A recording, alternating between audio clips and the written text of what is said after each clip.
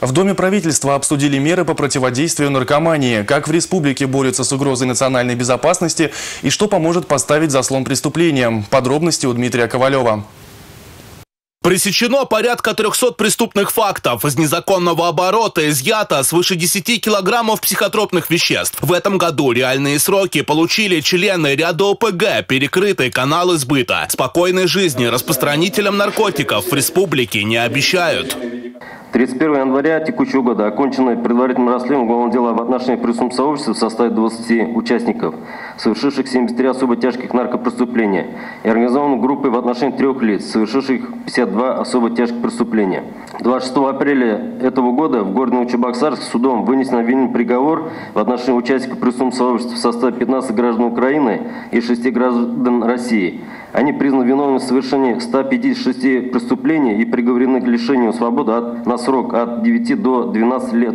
Здесь э, мы должны тоже страх наводить. Все эти нарушители, все эти распространители сегодня выявляются на территории Чувашской республики и привлекаются они к ответственности.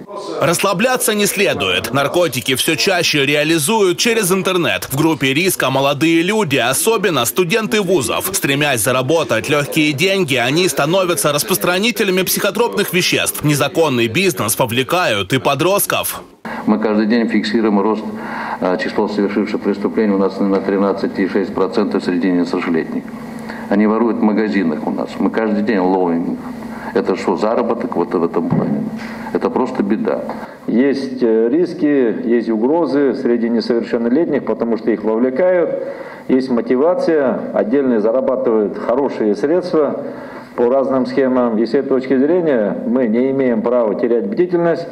И все силы, все средства, и человеческие, и моральные, и материальные, должны быть направлены на борьбу с этим злом. Уже в сельских районах идет распространение, значит, есть люди, есть там, которые занимаются этими интересными делами, кавычек говорю, и это уже целая проблема. А гарантий же нет, что в соседнем сельском районе тоже не появится. Но тревожные звонки порой поступают слишком поздно. Часто подростков, вовлеченных в наркобизнес, ловят с поличным, хотя преступные факты можно было и пресечь. Профилактика выходит на первый план. Главную роль отводят школам и колледжам. В настоящее время наркотические посты созданы в 412 школах республики. Еще 16 действуют на базе техникумов и колледжей.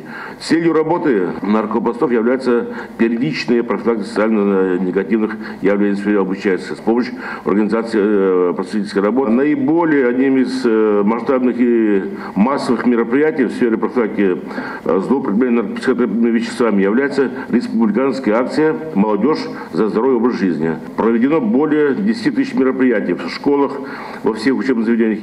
Учителя, директора школы должны работать над этими вопросами вместе с нами, значит.